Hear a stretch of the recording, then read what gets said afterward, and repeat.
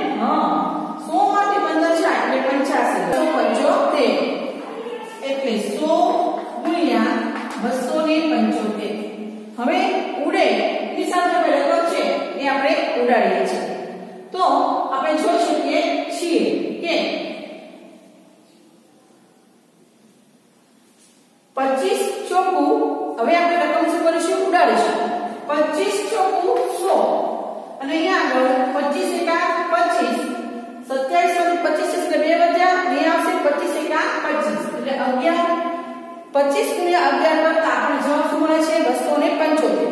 વધેલ રકમ હવે લઈશું આપણે પંચ્યાસી ગુણ્યા અગિયાર છેદમાં ચાર. પંચ્યાસી અને અગિયાર આપણે ગુણાકાર જે જો અહીંયા કરું છું, તમે જોઈ શકો છો. બે રકમ એટલે શૂન્ય, એક પંચું પાંચ અને આઠ એકાને આઠ. ફરી વખત એક છે ને એક પંચું પાંચ, આઠ એકાને આઠ. શૂન્ય મૂકીશું. હવે તેનો આપણે સરવાળો કરીએ. એટલે પાંચમાં પાંચ શૂન્યમાં પાંચ ઉમેરીએ એટલે આઠ, પાંચ અને આઠ વડે તેર, વધી પડી એક, એટલે આઠ ને એક નવ. તો નવસો ને પાંત્રીસ. અને એના છેદના કેટલા છે પાસે? 4 અહીંયા આપણે હવે આપણે 935 ને 4 વડે ભાગીશું અંશના છેદમાં હોવાને કારણે. તો ભાગાકાર કરું છું. 935 ભાગ્યા 4 4 ગુણ્યા 8 9 માંથી 8 જશે તો એક વધશે. ઉપર ઉતારો કરો. એટલે 13 4 ગુણ્યા 12 3 માંથી બે જાય એટલે એક વધે. ઉપર ઉતારીસ પાંચ અને પંદર. ચાર કરીને બાર. ને ત્રણ વધે છે. ત્રણ વડે ભાગ છે, શક્ય બનતો નથી. આથી શૂન્ય ઉતારવા માટે ઉપર હું શું મૂકીશ? પોઈન્ટ મૂકીશ. એટલે અહીંયા પોઈન્ટ મૂકું છું અને શૂન્ય ઉતાર્યા ત્રીસ. ચાર સત્તા ને અઠ્યાવીસ. અને સાત અને અહીંયા આગળ અઠ્યાવીસ. ત્રીસમાંથી છે એટલે બે વધે છે. હવે અહીંયા આગળ ફરી તમે શૂન્ય મૂકીશું? એટલે વીસ થશે. એટલે હું અહીંયા દર્શાવું અને વીસ અહીંયા થઈ ગયા આપણી પાસેના. જે સમાન નથી, એટલે અહીંયા હું દર્શાવું હવે ચાર ના મીડિયમમાં 20 4 પંચા ને 20 થશે. આથી અહીંયા 5 મૂકું છું અને 20 માંથી 20 જશે એટલે 0 તો 935 ને 4 વડે ગુણાકાર કરતા જવાબ મળે છે 233.75 આપણને જવાબ છે એ પ્રાપ્ત થાય છે. મળે છે રૂપિયા 233.75 તો આપણે કહી શકાય કે આપણે જે પુસ્તક જે છે 15% ખોટ, એ વેચીને કેટલામાં વેચી શકે છે 233 રૂપિયા અને 75 પૈસામાં વેચી શકે છે. લખેલા છે. વ્યાજ મુદ્દત એટલે કે વ્યાજ વત્તા મુદ્દલ એ, નો બંનેનો સરવાળો કરીએ. વ્યાજનો અને મુદ્દલનો એટલે આપણને વ્યાજ મુદ્દલ પ્રાપ્ત થઈ જાય છે. વ્યાજને અંગ્રેજીમાં ઇન્ટરેસ્ટ કહેવામાં આવે છે અને એને આઈ તરીકે ઓળખવામાં આવે છે. મૂળાક્ષર કેપિટલ જ દરેકમાં આવશે. મુદ્દલને અંગ્રેજીમાં પ્રિન્સિપલ કહેવામાં આવે છે અને એને પી તરીકે ઓળખવામાં આવે છે. મુદ્દતને ટાઈમ કહેવામાં અને ટી તરીકે ઓળખવામાં આવે છે. વ્યાજનો દર એને અંગ્રેજીમાં રેટ ઓફ ઇન્ટરેસ્ટ કહેવામાં આવે છે અને કેપિટલ આર તરીકે ઓળખવામાં આવે છે. દરેકના મૂળાક્ષરો વિદ્યાર્થી મિત્રો હંમેશા કેપિટલમાં જ આવશે. એ બાબતની ખાસ નોંધ લેજો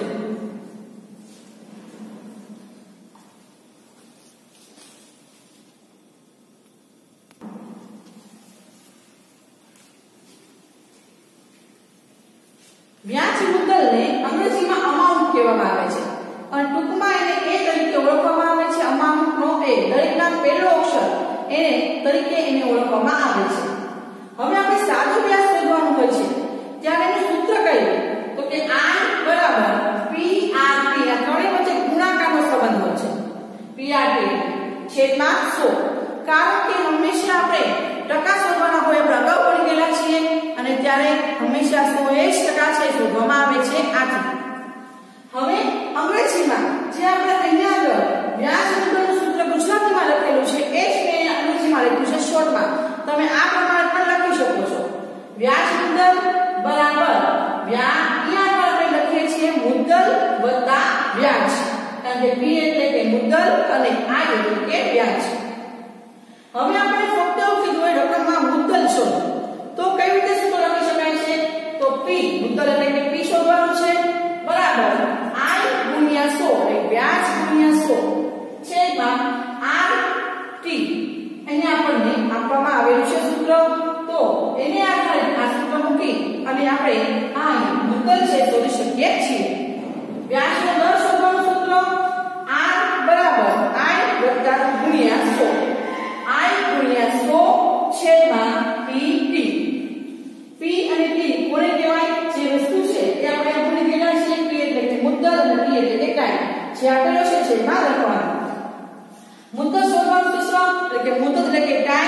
એટલે કે t i ગુણ્યા 100 છેદમાં p, r.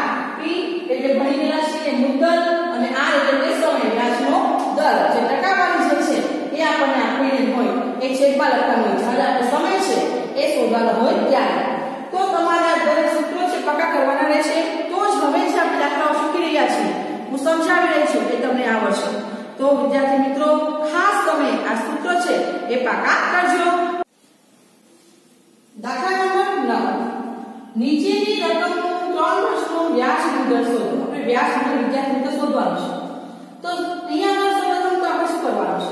તો લખવાનું છે p અહીંયા લખવાનું r અહીંયા t અને જોવાનું રકમને આધારે તો p બરાબર આપણને અહીંયા આગળ મુદ્દલ કેટલું આપ્યું છે રૂપિયા 12000 તો સૌપ્રથમ લખીશું આપણે અહીંયા આગળ 12000 રૂપિયા આ એટલે કે વ્યાજનો દર રેટ કેટલો આપ્યો છે આપણને 12 ટી એટલે કે ટાઈમ કેટલા વર્ષ આપેલા છે રકમમાં 3 વર્ષ હવે આ ત્રણેય વસ્તુ લખ્યા પછી આપણે સાદું વ્યાજ શોધવાનું છે અને એટલે અહીંયા આગળ સૂત્ર લખીશું આપણે i બરાબર p r t છેદમાં 100 સૂત્ર લખ્યા પછી વિદ્યાર્થી મિત્રો p બરાબર 12000 એ લખીશું 12000 એને ગુણ્યા ગુણાકારનો સંબંધ હોય ત્રણેયની વચ્ચે અંશમાં r એટલે કે કેટલા છે 12 એટલે 12 ટકા તો એના છેદમાં આપણે 100 લખી નાખવાના એટલે ટકા સિમ્બોલ હોય આપણે અગાઉ ભણી ગયા છે એટલે છેદમાં હંમેશા 100 આવે એટલે કે સમય સમય કેટલો છે 3 વર્ષ એટલે અહીંયા આપણે 3 છેદમાં 1 લખીશું para que uma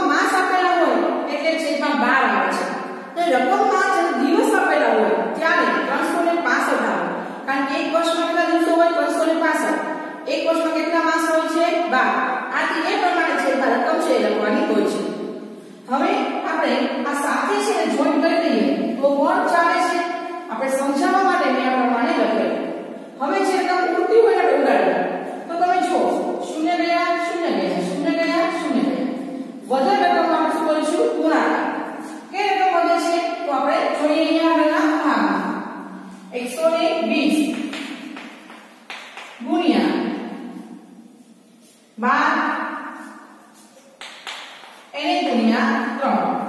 છેદમાં એક વધ્યો છે, કોઈ સંખ્યા છે એ ઉડાડવાની હોતી નથી. હવે જોઈએ આપણે બાર ગુણ્યા બાર કરીએ તો બાર બાર એકસો ને ચુમ્માલીસ થાય. આપણે એનો વર્ગ કર્યો એટલે ચૌદસો ને ચાલીસ થયા. એને ગુણ્યા ત્રણ કરીશું. ત્રણ ને શૂન્ય ગુણ્યા શૂન્ય. ચાર તેરી બાર. વધી પડી એક. ચાર તેરી બાર ને એક. તેર વધી પડી એક. ત્રણ એકા ત્રણ. ત્રણ ને એક ચાર. તો અહીંયા આગળ આપણે જોઈએ છે તો તેથી આપણે લખીએ i બરાબર રૂપિયા ચાર હજાર ત્રણસો ને વીસ. આપણને વ્યાજ છે મળે છે વ્યાજ શબ્દ પછી શું છે? વ્યાજ મુદ્દલ છે એટલે આપણે સૂત્ર લખવાનું. અહીંયા હું લખું છું a બરાબર t i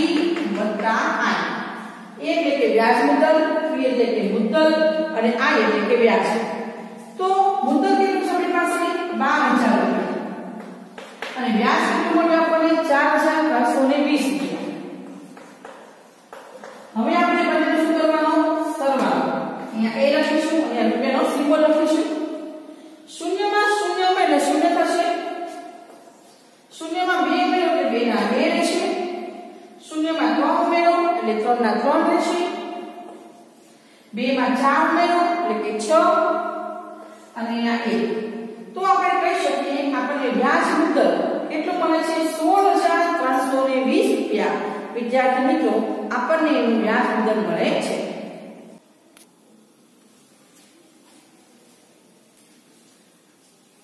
બી મુદ્દલ 75 વર્ષ અને વાર્ષિક વ્યાજ દર આપણને પાંચ ટકા આપેલો છે જ્યારે પણ આપણને સાદી વ્યાજ દર પી આર અને ટી લખી નાખવાનું અને હવે એને આપણે કોણ લખવાની પી એટલે કે મુદ્દલ કેટલા રૂપિયા છે આપણને 75 વ્યાજનો દર કેટલો છે? 5 ટકા. અને સમય મર્યાદા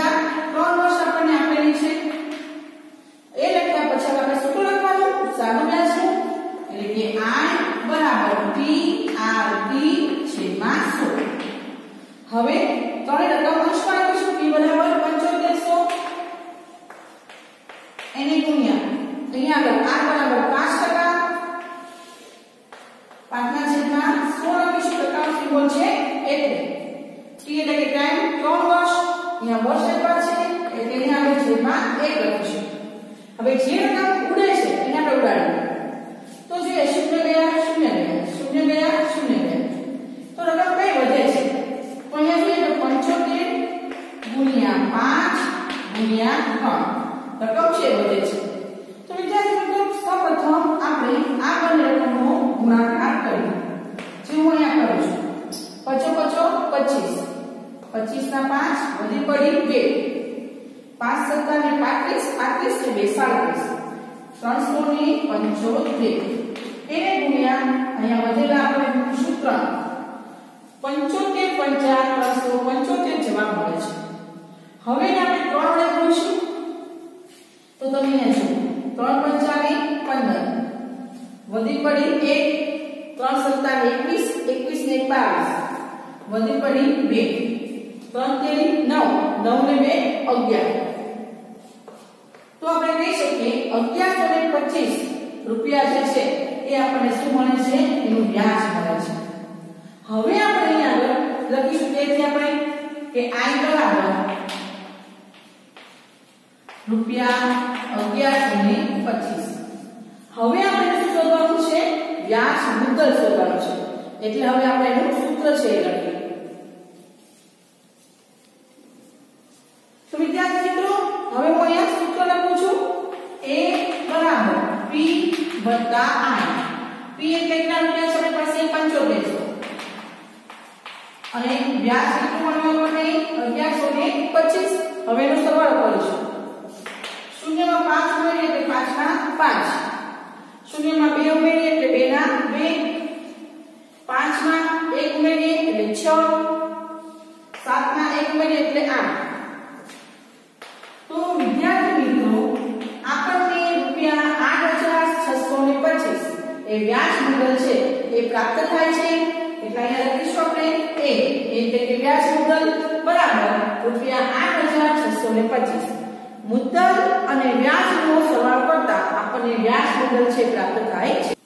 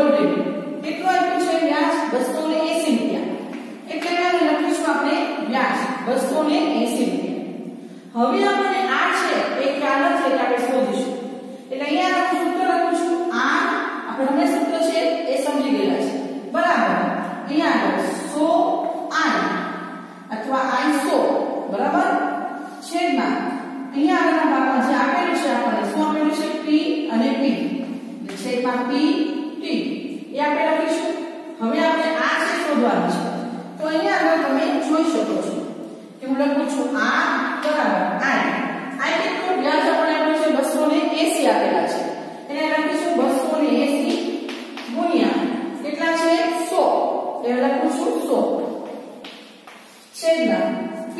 V બરાબર કેટલું છે? મુદ્દલ 56000 મેં લખું છું 56000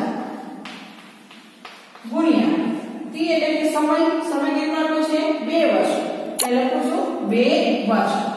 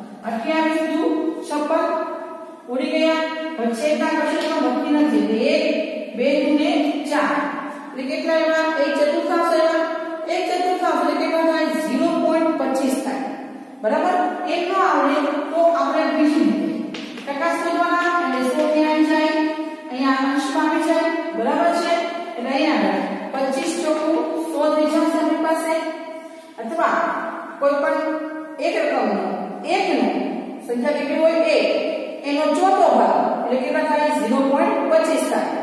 આથી આપણે અહીંયા વ્યાજનો દર એ કેટલો મળે છે આપણને? 0.25 છે, એ પ્રાપ્ત થાય છે. એટલે લખીશું r બરાબર 0.25% એમ આપણે કહી શકાય. ભૂમિના તેને લીધે અમુક રકમનું, જો અમુક રકમ એટલે આપણને અહીંયા ખબર છે નહીં વાર્ષિક નવ ટકાના દરે એક વર્ષનું વ્યાજ રૂપિયા પિસ્તાલીસ ચૂકવતી હોય, તો તેણે વ્યાજે રીતે રકમ શોધો. તો સૌપ્રથમ આપણે પી આર લખીશું? અને લખીશું?